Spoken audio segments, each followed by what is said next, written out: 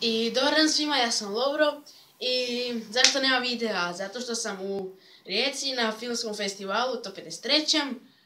Znači, ako ste gledali ono Hoću van, to ide i ide policijski dan. To je sa klubom smo napravili. Tako da poželite mi sreću, možda nešto i osvojimo. E, tako da eto, želite nam sreću, zato nema videa, ali ne brinite, sad sam tu u hotelu, imamo Wi-Fi. Tako da će biti i apartman tur i bit će, svašta će bit.